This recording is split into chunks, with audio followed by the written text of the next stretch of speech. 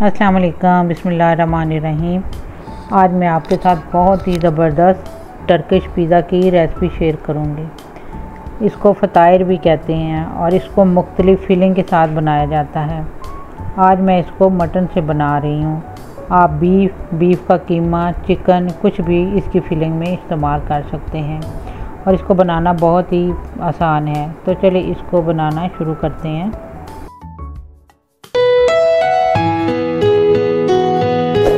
इसके लिए सबसे पहले मैं डो तैयार करूँगी। डो के लिए मैंने ये 600 ग्राम मैदा लिया है। टू टेबलस्पून ऑयल है। टू टीस्पून मैंने नमक लिया है। वन टेबलस्पून चीनी है। बारीक वाली चीनी है। वन टेबलस्पून ईस्ट है। और टू टेबलस्पून मैंने ड्राई मिल्क लिया है। आप इसकी जगह फ्रेश मिल्क भी ले सकते हैं। सबसे पहले हम मैदे में चीनी डालेंगे। रही फिर ईस्ट है, नमक और ये ड्राई मिल्क। और थोड़ा हम ऑयल इसमें डालेंगे, थोड़ा हम ऊपर लगाएँगे।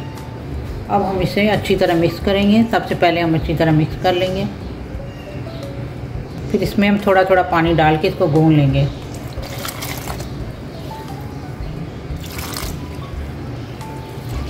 हल्का हल्का सा हम पानी लगा के इसको उस वक्त तक गूंदेंगे जब तक ये हमारे हाथों से चिपकना, ये ख़त्म हो जाए।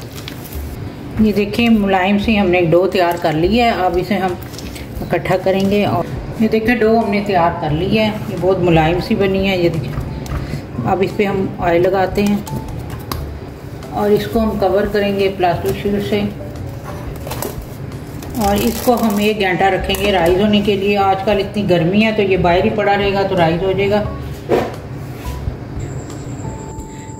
ये टर्किश पिज़्ज़ा के लिए जो हम फिलिंग बनाएँगे, इसके लिए ये मैंने हाफ़ के जी उबला हुआ मटन लिया है। और इसके मैं इसको मैंने नमक और अदरक अदरक लहसन डाल के इसको मैंने गला लिया और इसके मैंने रेशे कर लिए हुए हैं। वैसे टर्किश पिज़्ज़ा जो होता है, उसमें कीमा डलता है और कीमा भी कच्चा डाला जाता है, लेकिन हम इसको पका के डाल रहे हैं। आप कीमा डाल लें या ऐसे गोश्त के रेशे कर लें। और इसमें एक एक अदर शिमला मिर्च ली है मैंने, इसको मैंने बड़ी चॉप कर लिया वन टेबल स्पून ऑयल है। आधा कप मैंने टमाटर प्यूरी ली है, एक बड़ा प्याज है, इसको भी मैंने बरी काट लिया हुआ है, एक सबज मिर्च है, थोड़ा सा धनिया है और दो अदर टमाटर हैं, इनको मैंने बीच निकाल के बरीक चॉप कर लिया है। ब्लैक और ग्रीन ऑलिव्स हैं। हसब ज़रूरत हम इसको इस्तेमाल करेंगे और हाफ़ टेबल स्पून मैंने कुटी सुरख मिर्च ली है। वन टीस्पून मैंने ज़ीरा लिया, पिसा हुआ हाफ़ टी स्पून काली मिर्च है वन टीस्पून मैंने नमक लिया है। और गोश्त को उबालते हुए भी मैंने इसमें हाफ़ टी स्पून नमक डाला था और ये हाफ़ टी स्पून सुमक है ये टर्की स्पाइस है और वन टीस्पून मैंने औरगानो लिए। अब हम इसकी फिलिंग तैयार करेंगे। बिस्मिल्लाहिर्रहमानिर्रहीम। सबसे पहले हम कढ़ाई में ऑयल डालेंगे। अब हम इसमें प्याज डाल देते हैं।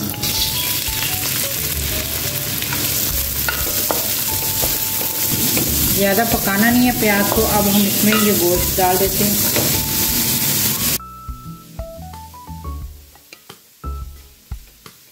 और ये टमाटर प्यूरी थोड़ा सा मिर्च पानी डालेंगे थोड़ा सा मिर्च पानी डालें आज हम इसकी दरमियानी रखेंगे। अब इसमें ये मसाले डाल देते हैं। अब ये शिमला मिर्च। एक मिनट हम इसको पका लेंगे शिमला मिर्च को। अब हम इसमें टमाटर भी डाल देते हैं। बस इसको हम थोड़ी देर चलाएँगे। अब आखिर में हम ये धनिया और सब्ज़ मिर्चें भी डाल देंगे।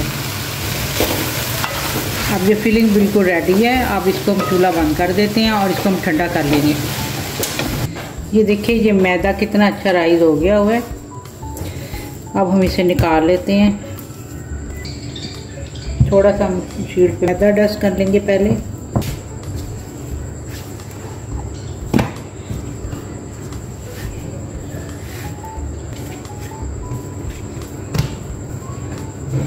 इसके अब हम बराबर पेड़े बना लेंगे पहले हम इसको हाफ़ करेंगे।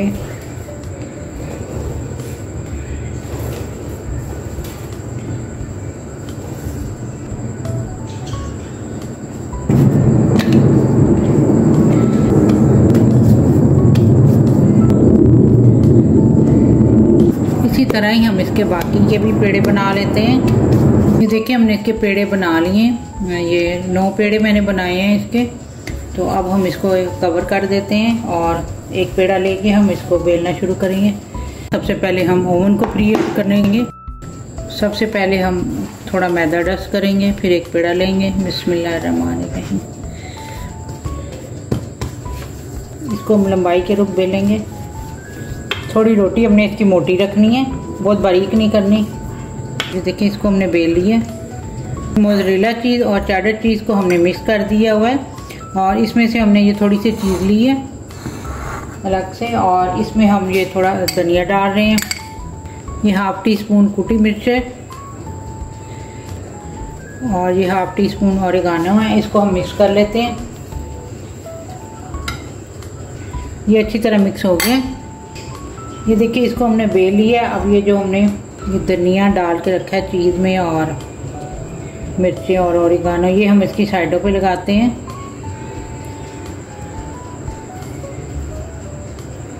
अब इसके हम किनारे फोल्ड करेंगे या अंदर को।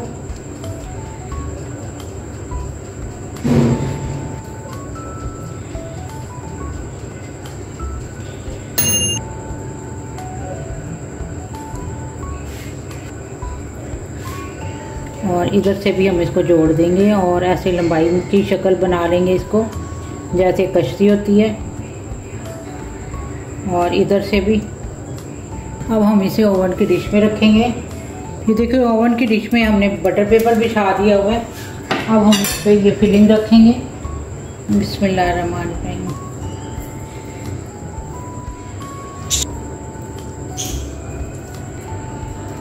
अब हम इस पर ये चीज़ डाल देते हैं।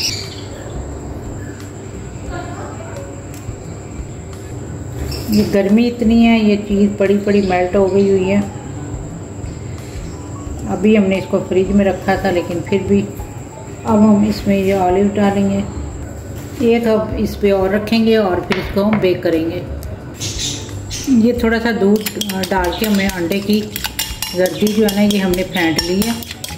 अब हम इनकी साइडों पे ये लगाएँगे ताकि इसका कलर जो है ना ये अच्छा सा आए और इस पर हम वाइट तिल डाल देते हैं। ये देखिए, सब पे हमने तिल लगा लिए। इसको अब हम प्री हीट ओवन में 25 से 30 मिनट के लिए बेक करेंगे। ये 25 मिनट के बाद हमने पिज़्ज़ा को निकाल लिया है और ये हमारा टर्किश पिज़्ज़ा बनकर तैयार हो चुका है। ये बहुत सॉफ्ट और डिलीशियस बनकर तैयार हुआ है।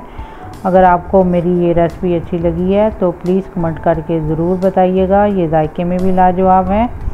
और वीडियो को लाइक भी ज़रूर किया कीजिए। इस पर आपके कोई पैसे खर्च नहीं होते। हाँ लेकिन हमारी ज़रूर हौसला अफजाई होती है। अब मुझे अगली रेसिपी के लिए इजाज़त दीजिए। अल्लाह हाफिज़।